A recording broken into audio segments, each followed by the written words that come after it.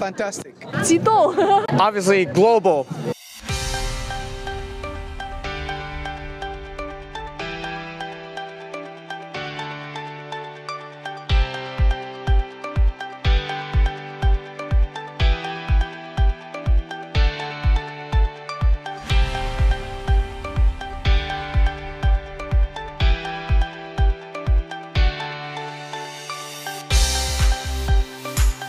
I, I like Korean. Yeah, they paint my face and I love the design.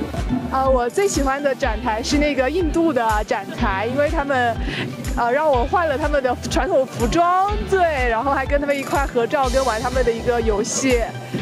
Mine was Sierra Leone. They had like a good, good energy, you know. People were nice, you know, and we talked. I talked with some guys, and they were pretty amazing, you know. Canada. They had very good maple syrup. Apparently, they brought it all the way from Canada. 辛苦了 Canada. Favorite, of course. I'm patriotic is Ghana.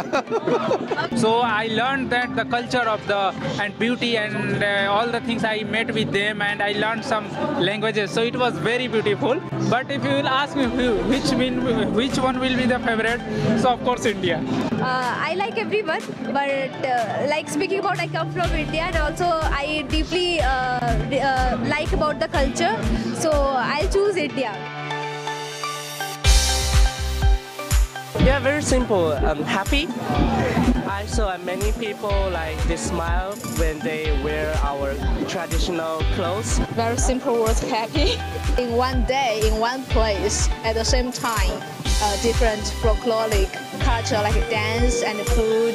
Beijing University is a very international platform. I'm grateful for the opportunity to come here, and I also have gratitude for it.